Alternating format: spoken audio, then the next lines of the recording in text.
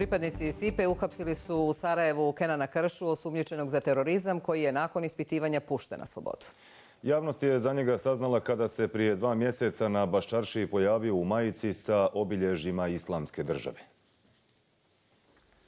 Kenan Kršo je u više navrata koristeći obilježja islamske države učestvovao u incidentima i ugrožavao bezbjednost na području Sarajeva. Tužilaštvo BiH te aktivnosti dovodi u vezu sa terorizmom. Tužilaštvo BiH i policijske sigurnosne agencije prikupile su dokaze da je sumničeni boravio jedan kraći period na području Sirije te da je tamo ostvario kontakte i da kontaktira sa pripadnicima takozvanog vehabijskog pokreta koji se na području Sirije i Iraka bore u okviru struktura ISIL-a koji je odlukom Vijeća sigurnosti UN-a proglašen terorističkom organizacijom. Pronađene stvari tokom pretresa stana i automobila Kenana Krše bit će od koristi tužilaštvu da dokaže krivično dijelo terorizma. Prilikom izvršenog pretresa pronađeno je i privremeno oduzeto vatreno oružje kao i drugi predmeti koji mogu poslužiti kao dokaz u daljem postupku. Nesumnjivo, Kenan Kršo je pristalica vehabijskog pokreta, ratovao je u redovima Idila, ipak nošenje majice s njenim obilježima teško može da se kvalifikuje